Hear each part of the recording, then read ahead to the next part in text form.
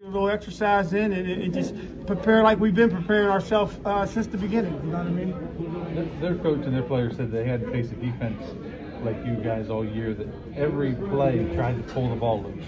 Where's that? Where's that inspiration? Where's that motivation come from? Well, I mean, we just we just tell our guys, you know what I mean.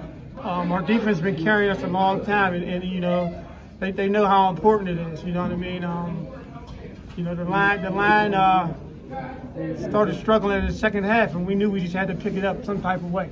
So you know what I mean. It doesn't matter. It's all team effort, offense, defense, special teams, whatever it should be.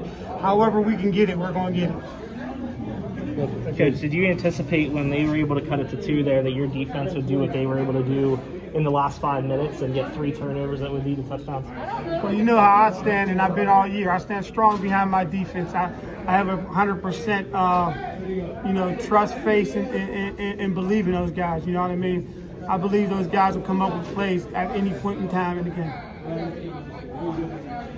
The, again, it's just amazing the way every play they were digging at that ball. Is that something you guys work on in practice? Oh yeah, we work on we, we work on getting the ball away. You know what I mean? Like I said, we've won more than one game by just defense alone. You know what I'm saying? So, however we can win, we're gonna win. We're gonna try to do it. Can you explain what this means for you guys and you and the team? What this championship wins? What this means?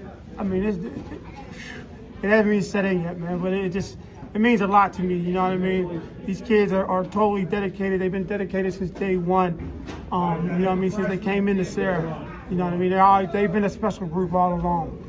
You know what I mean? They all they, they all played young, and it's just over over time. You know what I mean? They just gelled to be where they're at and the level that they play at now. How was their success motivated you or lifted you during your own personal battle? I mean, I, I mean, right now, you know, I, I had to, you know, take a retirement from my a disability retirement from my job, so I ain't, I'm not working. So it's all I got to look for in the daytime to wake up to. You know what I mean? I go to therapy, and I got to, I, I, I go to practice.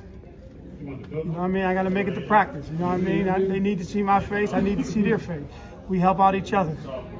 Is it a good feeling knowing that that goes on for at least another week, maybe maybe two? Oh yeah, definitely, definitely. This is going to go on forever. I mean, you know, I mean, this feeling is, ain't going nowhere. this feeling is not going nowhere. This is this is a once in a lifetime thing for for for anybody. You know what I mean? Just for me to be blessed and, and, and to receive this blessing while I'm going through something, it's just it's just it's great.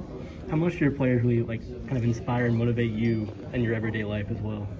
I mean, they they do, you know what I mean? Because these are some committed guys, man. You know, they're academically sound, you know what I mean? They're, they're good kids, you know what I mean? It's more, like I said, it's more than just football, man. You know what I mean? I talk to these kids after practice, before practice, whenever. You know what I mean? So, I mean, it's a it's a it's a family with us here at Serra Catholic.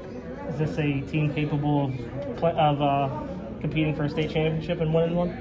We're definitely going to put out 150% to do it. You know what I mean? It ain't going to slow down. This ain't the end.